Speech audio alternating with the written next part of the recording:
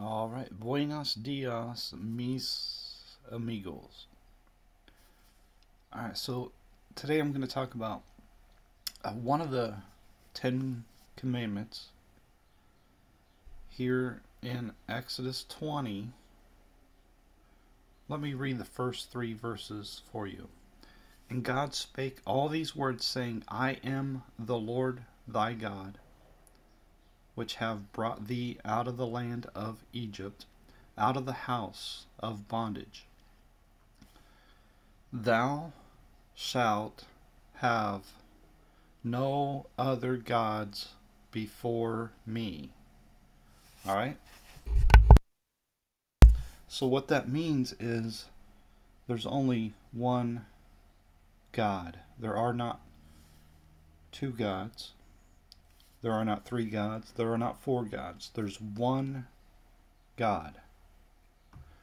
Now, why is that important? Well, all these videos up here, I'm going to show you that these people teach more than one God.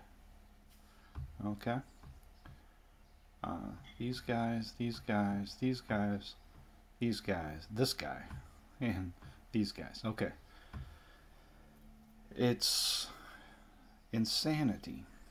All right, now I've covered this before, but I want to try to do a better job. Okay. So, like for example, for in uh, 1 Corinthians 8, verse 4, it says, "In concerning therefore the eating of those things that are offered in sacrifice unto idols, we know that an idol is nothing in the world, and that there is none other God but one. There's only one God. Now there's you know a lot of examples I can give here, but hopefully hopefully there's no question about it, right? In Galatians 3, now a mediator is not a mediator of one, but it but God is one. First, First uh, Timothy two, for there is one God, and one mediator between God and man, the man Christ Jesus. Again, the Ten Commandments: Thou shalt have no other gods before me. There's only one God. That's it. So, the reason why I think this is important is because, um, like, for example, in Matthew 24, the disciples go to Jesus and ask him, What is the sign of thy coming and of the end of the world? And the very first thing Jesus talks about is deceivers. Take heed that no man deceive you. For many shall come in my name, saying, I, Jesus, am Christ, and shall deceive many. And it's incredible how many deceivers there are in the world today. And it's not like these guys know the truth. These guys have been deceived themselves and therefore they deceive others. Right?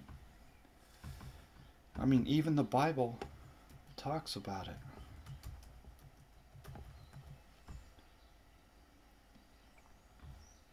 Evil men and seducers shall wax worse and worse, deceiving and being deceived. So the deception is getting worse and worse and worse. And of course, in Matthew 24, Mark 13, Luke 21, it talks about how, except that the Lord had shortened those days, there should no flesh be saved, but for the elect's sake, those days shall be shortened.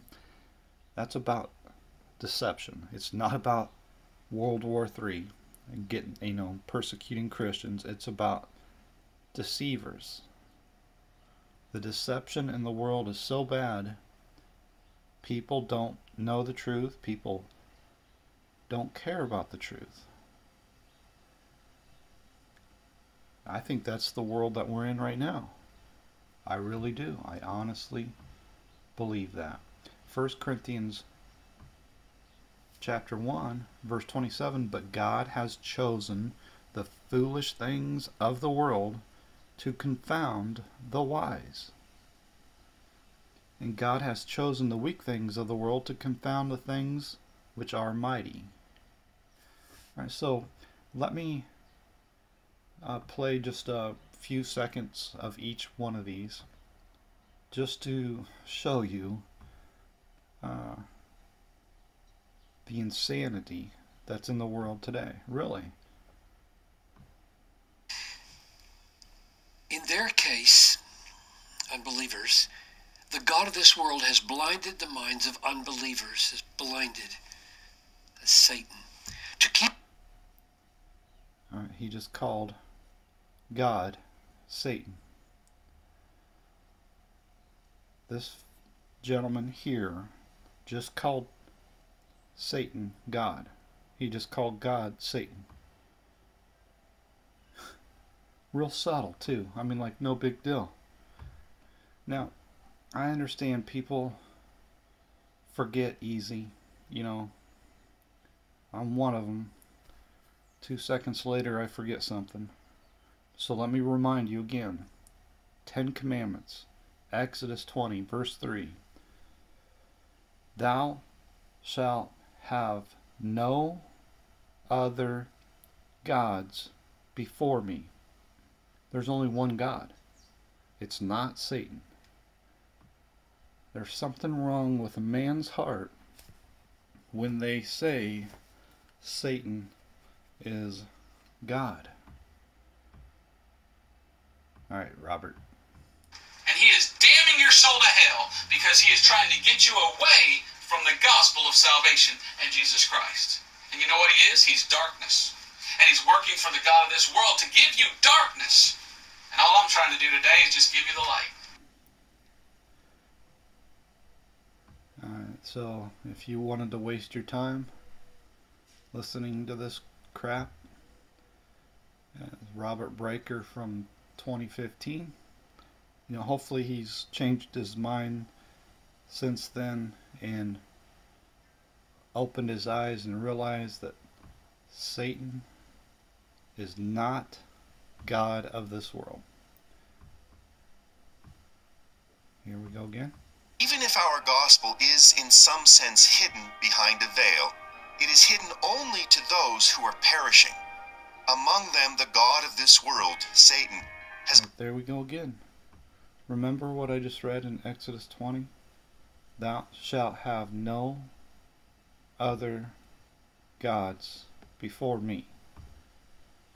And this person here is claiming that Satan is God.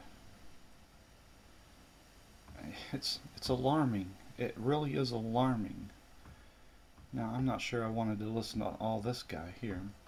Let me see if I can get that lucky. The God of this world, in so many cases, he's saying the vast majority of this world is not serving the Creator, but Satan. Look around. It, now, if anybody knows that God is God, Paul does. But he's saying that the God of this world, in so many cases, he's saying the vast majority of this world is not serving the Creator, but Satan. Look. Okay, that's in reference to Second Corinthians 4, verse 4. Again, he's claiming Satan is God of this world. Alright, and then again, got questions. Not how in the world anybody listens to a single thing these guys say is beyond me. It's it's incredible. Well, let's listen. How is Satan God of this world? We're going to answer. What a question. It's here you, you devote your whole entire ministry. You've got online websites, you got a YouTube video, and then you open with this question here. It's incredible. Thou shalt have no other gods before me. Satan is not a god. But what kind of question is that? How is Satan God of this world? He's not. There's only one God. It's not Satan. So this is alarming, really. So let's take a closer look. You know, yeah, again, it, this is it's kind of interesting. I can't show you something that's not in the Bible. And what's not in the Bible is this idea that Satan is God. It's not anywhere at all in the Bible. What I can do is show you something that is puzzling. 2 Corinthians 4, verse 4 says, In whom the God of this world has blinded the minds of them which believe not, lest the light of the glorious gospel of Christ, who is the image of God, should shine unto them. This is not talking about Satan. It's rather insane to suggest it is.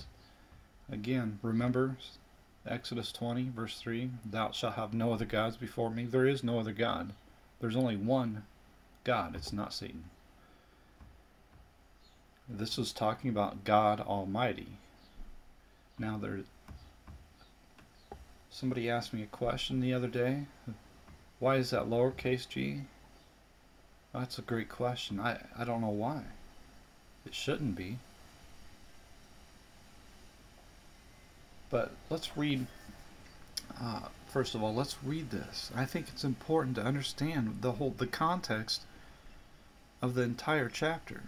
I mean, if you have any doubt whatsoever, unless you're absolutely, you got it all figured out, then you don't need to read it. But, if you want to grow in understanding, knowledge, and wisdom, truth, then let's read it. Okay? Therefore, seeing we have this ministry, as we have received mercy, we faint not, but have renounced the hidden things of dishonesty, not walking in craftiness, nor handling the word of God deceitfully, but by manifestation of the truth, commending ourselves to every man's conscience in the sight of God. But if our gospel be hid, it is hid to them that are lost, in whom the God of this world has blinded the minds of them which have believed which believe not, lest the light of the glorious gospel of Christ, who is the image of God, should shine unto them. For we preach not of ourselves, but Christ Jesus the Lord, and ourselves your servants for Jesus' sake. For God, who commanded the light to shine out of darkness, has shined in our hearts to give the light of the knowledge of the glory of God in the face of Jesus Christ. But we have this treasure in earthen vessels, that the excellent, excellency of the power may be of God and not of us. We are troubled on every side, yet not distressed. We are perplexed, but not in despair. Persecuted, but not forsaken. Cast down, but not destroyed always bearing about in the body of the dying of the Lord Jesus, that the light, I'm sorry, let me try this again. Always bearing about in the body of the dying of the Lord Jesus, that the life also of Jesus might be made manifest in our body. For we which live are always delivered unto death for Jesus' sake that the life also of Jesus might be made manifest in our mortal flesh. So then death works in us, but life in you. We have the same spirit of faith, according as it is written, I believed, and therefore have I spoken. We also believe, and therefore speak. Knowing that he which raised up the Lord Jesus shall raise up us also by Jesus, and shall present us with you. For all things are for your sakes, that the abundant grace might, through the thanksgiving of many, redound to the glory of God. For which cause we faint not, but though our outward man perish, yet the inward man is renewed day by day. For our light affliction, which is but for a moment, works for us a far more exceeding and eternal weight of glory, while we look not at the things which are seen, but at the things which are not seen. For the things which are seen are temporal, but the things which are not seen are eternal. Alright, so now that we read that, let's get a little more specific on this particular verse. Now it's interesting here. Let me go back real quickly. And notice here in verse 2 it says, But have renounced the hidden things of dishonesty. And that's what I'm doing here today. Renouncing the hidden things of dishonesty. Not walking in craftiness, nor handling the Word of God deceitfully, as all these people do. Now, again, I, I gotta reiterate here. It's not that they know the truth and they're doing it to trick somebody. They've been tricked themselves. Okay. So let's focus on this phrase, in whom the God of this world. Now, remember, Exodus 20, thou shalt have no other gods before me. There's only one God. So you can't have a contradiction. There cannot be a contradiction in the Word of God.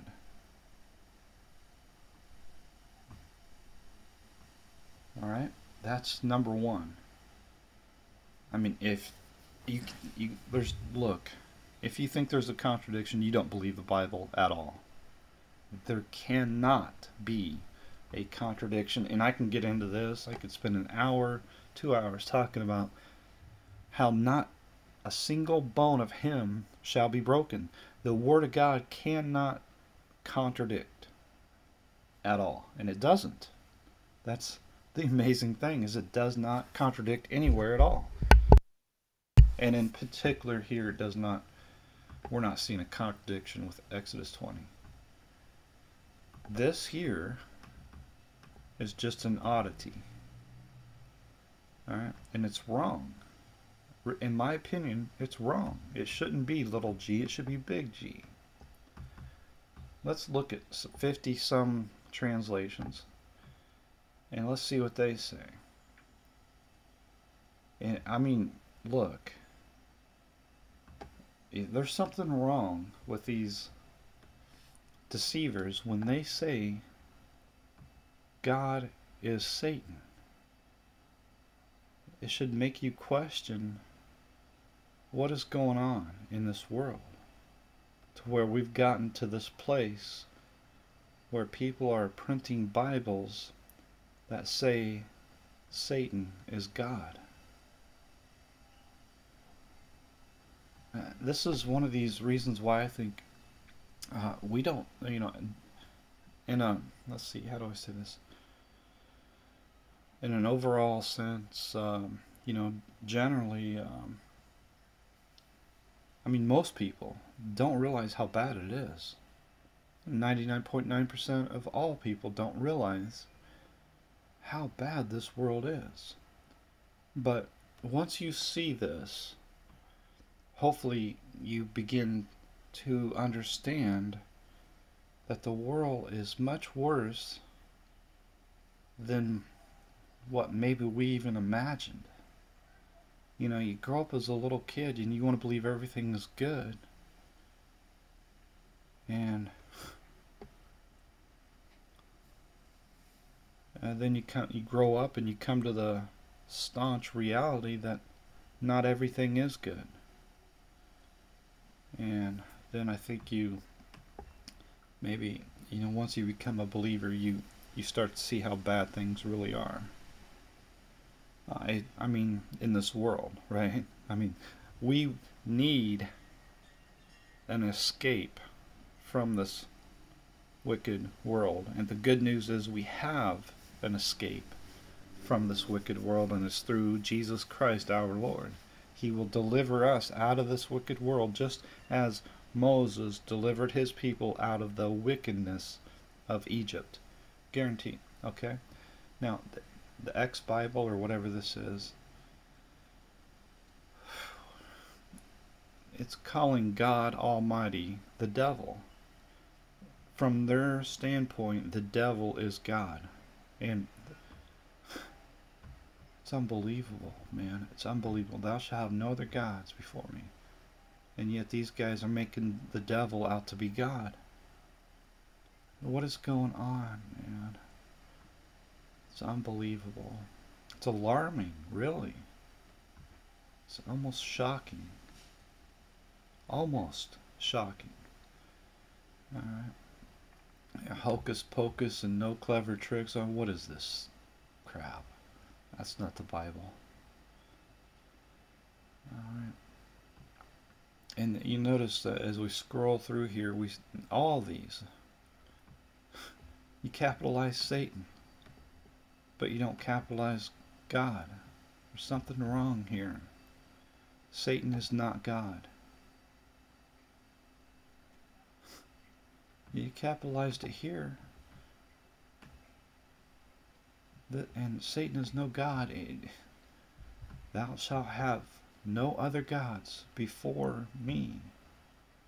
This almost reminds me of when God gave Moses two tables of stone written with the finger of God. Moses had to have been ecstatic, excited, and just overwhelmed with uh, joy to have these tables of stone written with the finger of God. And you know a set of rules that we can all live by and abide by. And then he walks down from the mountain and he sees all the people dancing around a golden calf. And it angered Moses and he waxed hot and he threw down he smashed the 10 commandments well, we're in this place again, really, where people are ignoring the Ten Commandments. And specifically this, thou shalt have no other gods before. There's only one God. So what are you doing here? Calling it's not Satan. Satan's not the one God. Satan is not a God at all. So why would you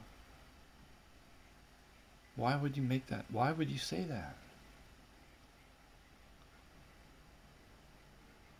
It's insanity. The devil who rules this world has blinded the minds? No and no. That's not true. The devil's not a god, and he, he's not the one that blinds the minds of those who do not believe. Uh, the devil doesn't do that. God does that. This is absurdity. It's sickening, really. But I think it, it serves as an example, really, how close we got to be to the end of the world. When we see this kind of stuff happening, we got to know it's close, man. We got to know it's close. Satan is not the God of this world.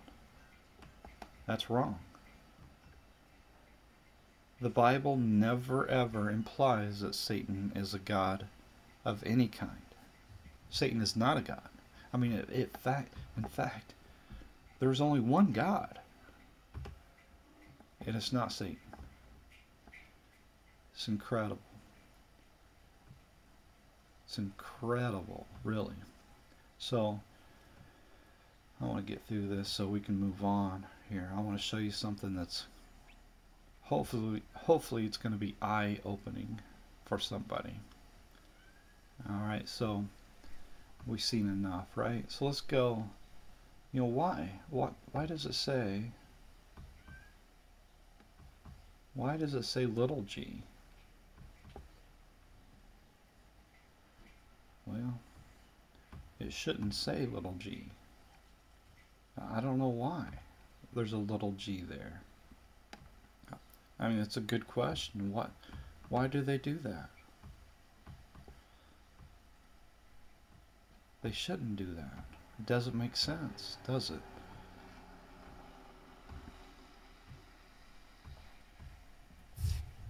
You know, you just gotta wonder what's going on, right? Yeah. I don't know if you can see that. Right there. Can you see that? I don't know if that's going to help if I blow that up, huh? Maybe actually it looks like it went smaller. I could do this here. Hold on a second. I want to make this crystal clear. I want to make this crystal clear. Now hopefully you can see that right there. So, Alright, so if you couldn't see it before, oh my goodness. Right there. Verse 4, in whom the God of this world. See, that's not small g. That's capital G. Right down here, that's a little g. This is a capital G. Alright? So, uh, so we see that there's something very strange going on. Very strange. Now, you've probably heard me say that uh, even today, when Moses is read, the veil is upon their heart. Nevertheless, when it shall turn to the Lord, the veil shall be taken away. Satan doesn't take it away, God takes it away. All right? There shouldn't be any doubt about it. I mean, what in the world is going on in your mind to think that Satan is going to take the veil away once you believe in Jesus? That's nonsense.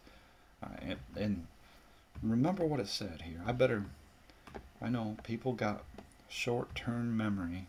I'm one of them. So let's keep this as a reminder of what it says in verse 4. All right? In whom the God of this world has blinded the minds of them which believe not. This is parallel right here. And oh, okay, this is parallel. This is uh, talking about the same thing.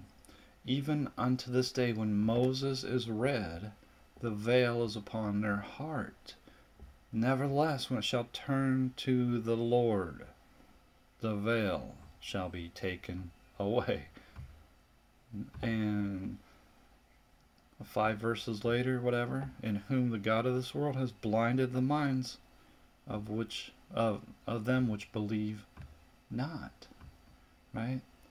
It's talking about the same thing, and that should be a capital G. Capital G. In whom the God of this world, and that's God, and that's Jesus. Jesus is God of this world. He's going to judge this world. He's going to destroy this world, and He's going to bring us a better world.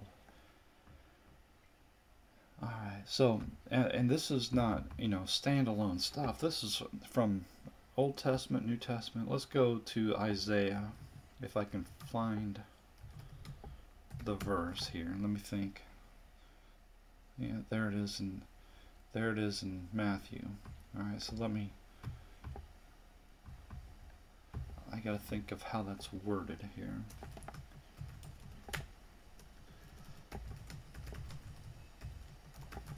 I'm, I'm not sure. It's gotta be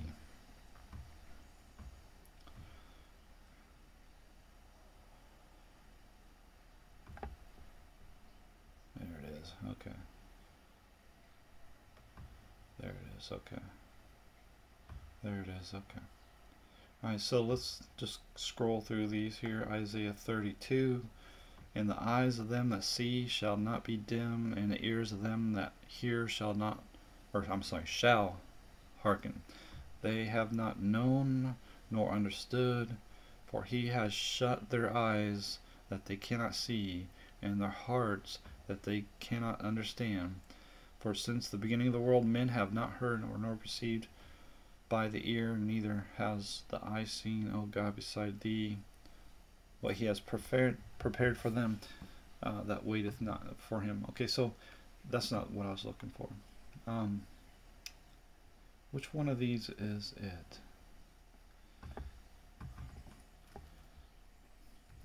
Oh, oh, my goodness.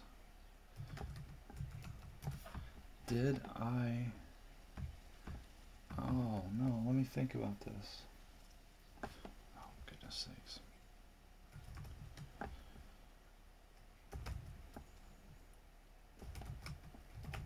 I have I have to do it this way.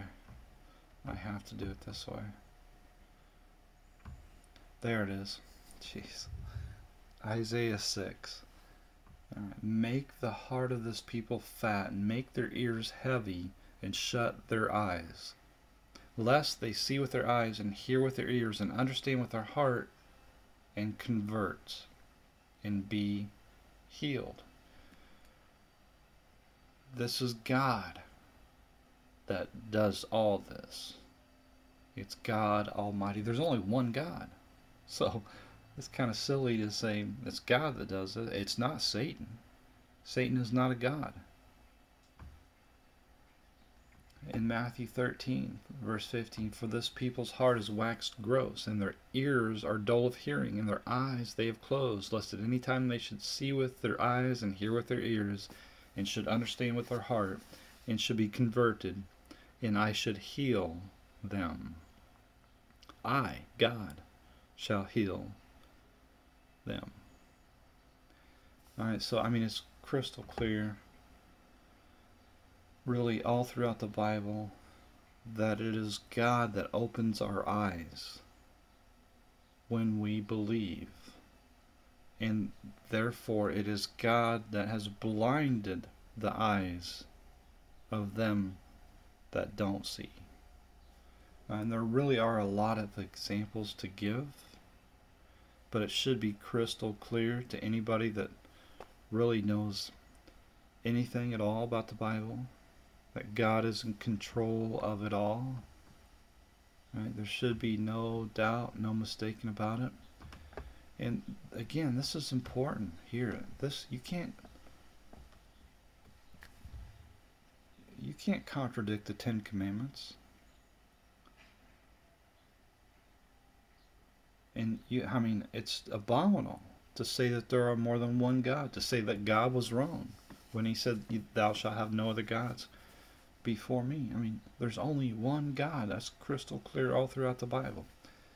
And of course, it's Jesus. Jesus is God Almighty. So, anyways, hopefully that maybe maybe helps somebody uh, to see that how deceived people are today. It's unbelievable, man.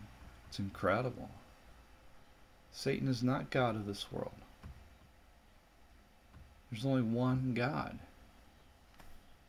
It's Jesus.